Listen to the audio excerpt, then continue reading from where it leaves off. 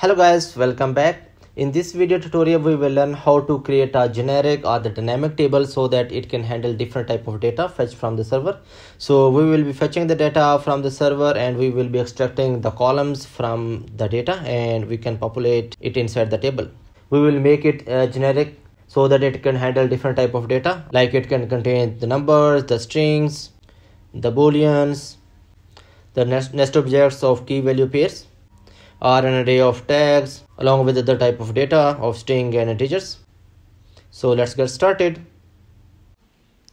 I have an empty React.js project that is using Ant Design and right now it's showing nothing. So let's go ahead and import the table component from Ant Design and start using it. So it will be table and if I save it here you go. Right now it's showing no data. So we have to provide the columns and the data source to the table so let's add th those props here and we can say columns and data source is equal to the data source. We will declare uh, this variable soon. So uh, to make it, it dynamic so let's declare this variable as the as a state so that we can change them later on.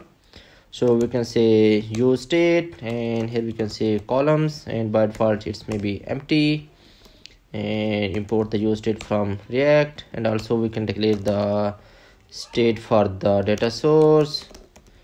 And same it will be empty by default. Here you go it's still empty.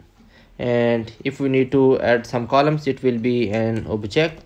There we need to provide the title. We can say maybe id and data index of id as well. Save it there you go. It has added uh, the column right? So for the uh, table columns and the data we will be using uh, the data from this dummy json. So we can start with the very simple data that is related to the quotes. And it will look like this one. It will have a id then quote and then author. So there we can render these three columns id quote and author and these will be the values right so uh, this is the api uh, to fetch the data. So let's copy this one and we can fetch the data inside a use effect. So we can say use effect.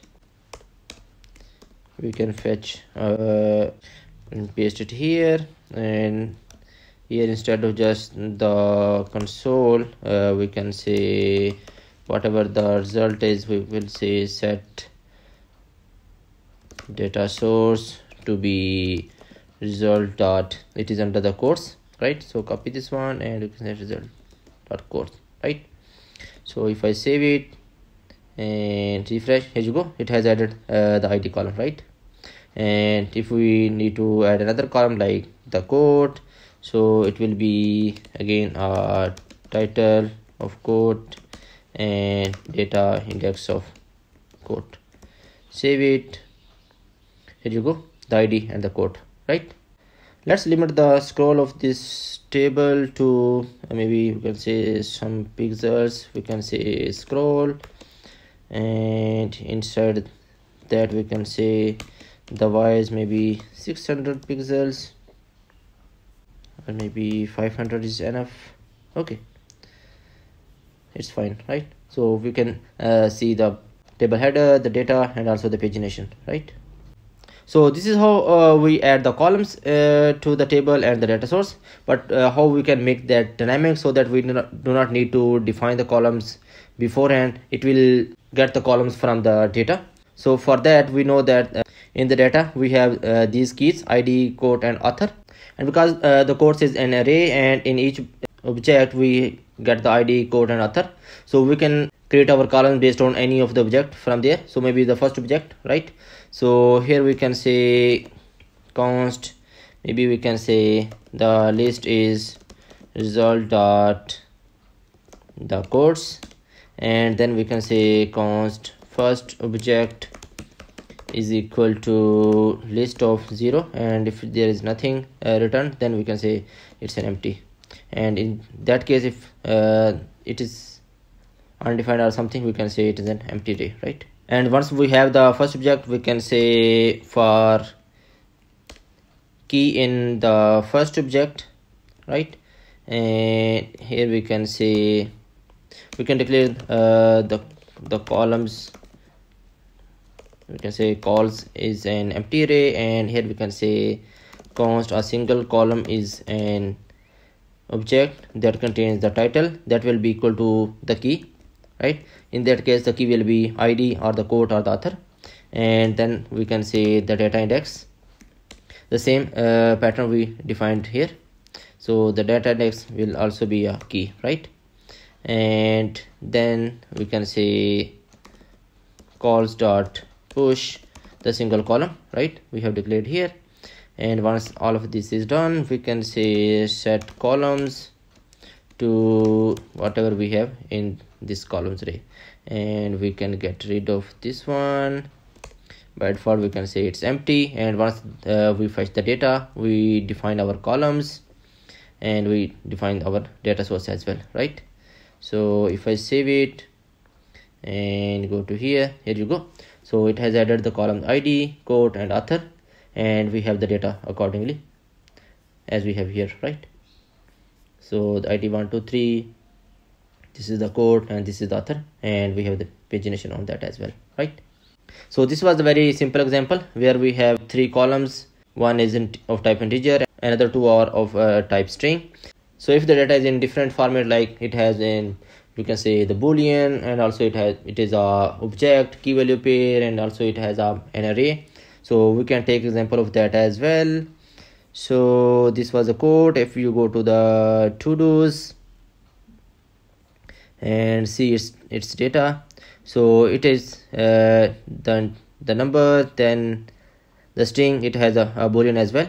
So if we replace this one uh, the fetch call with this to dos copy this one and here in the quotes we can say to dos. And here instead of uh, this quotes we can say to dos right?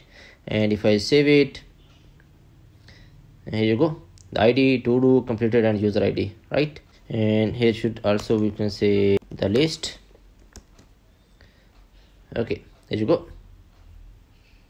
The third one on first one two three the to do and user id and completed is not rendered because it, it is of different type. So we can say here while we are defining uh, these columns we can say how to render each of column so we can say the render and whatever the value is passed we can say uh, return a simple span and then the value. And we can convert that into a string right? So if you save it there you go. To so it has rendered uh, the boolean as well. And if we change it again to quotes copy this one and add here as well. Here you go. So no change. There so this way we have handled uh, two type of data. One is quotes one is to dos so maybe we can uh, declare a little variable here. We can say data type is equal to maybe this quotes and we can change this here and it will should be changed uh, automatically here as well. So here we can say and we can get it from uh, the data type. And also here in the result we can say fetch whatever is in the data type. It's either the quotes if I refresh here you go and if I say to dos no it is to dos right? So we will be changing this variable to get different type of data right? So let's take another example. Uh, go to the dummy json quotes to do is done. So let's take an example of comments and show the output. So it has id body post id and then the user. It is an object right?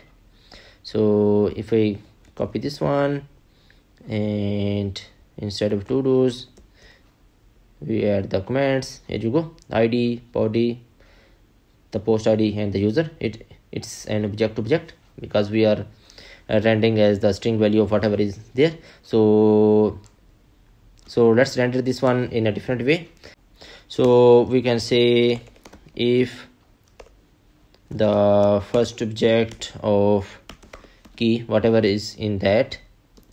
If the type of this first object is equal to equal to object then do something else. And maybe we can say uh, variable render is equal to whatever we have here. Cut it from here and by default it will be rendering as the string value. And here we can say the render and in case of uh, the object we can render it in different way because it will it will be a key value here. So let's copy this one and we can say the render is something else. Uh, instead of this value we can say object dot keys of of value and then map it and here uh, we can say give it any item. It will be the id and then the username right? You can say it maybe the uh, the key. And here we can uh, return maybe in a span. We can say whatever is the key. And then a colon. And then we can say the value of the sorry in the bracket we can say value of key right? So here what we are doing is we are saying that if we got this type of object we will uh, render it in different way. We will be rendering a span. Inside that we we will be getting all of the keys. So it will be id and the username. And we can say we will say the key first and then the colon and the value of the key. So it will be rendered like this way id colon 63 and username column this username right? So if i save it here you go. So those are being one line. So instead of the span maybe we can say show them as a div. So if we make it full screen so id 63 and username this one right? So this is how we can handle the objects right so let's go on and handle some other type of array as well. So let's go to the post and get those values. So uh, it has the tags which are of type array. So we can say copy this post and go to here inside documents. If we get the post here you see the id title the body user id and then the tags. So uh, because it's an also an object it says uh, the key 0 is history key 1 is this and key 2 is this one right? So instead of th this way we can say we can render uh, maybe in a tags right? So here we can say it if it is an object. Then this one in here we can say inside that if it's an array then rendered in a different way right? So we can say if this is an array then render in a different way otherwise render whatever we have right now. So let's cut it from here and put it in the else right? And here uh, for this one uh, because it will be an array directly so we can say directly map over the value and here we can say instead of that this div we can say it is a tag again from the Ant Design. And here we will be only giving the the value. This tag okay. If i save it refresh here you go.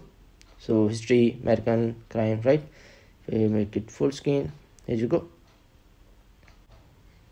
So here you see on the table header uh, the title body user id the first letter uh, in small does not look good. We can make that as capitalized as well. So here uh, we are where we are defining the title. We can say we can convert it that into string and we can say dot character at of zero we can make it uh, to uppercase right? And because we have made this uppercase plus we can say string of again the key. And then we can slice it and we will start from the number one. So here what we are doing is we are capitalizing the first character and then uh, the remaining will remain the same. So here you go id title body. It looks good now right? So it should have applied on other tables as well. So let's check for the to-dos. There you go. And if i check for the comments there you go right? Looks good. So using this approach we can make our table dynamic. So we can get the columns and the data from uh, the server and we can render them accordingly. So suppose if some reason the data is very nested so in that case we can uh, add our conditions here and we can render uh, that data accordingly. And also if for some of the columns we, we want to render it in a different way. Uh, we can just check uh, the key of that column and we can add a condition here and we can render it in a different way right? So overall the idea is the same. We get the data from the server and we can create our own columns and they are rendered here. And ultimately those those will be applied to the table right? But still if you have any questions please let me know in the comments below. And if you have learned something in this video please hit like subscribe to my channel see you in the next video. Thank you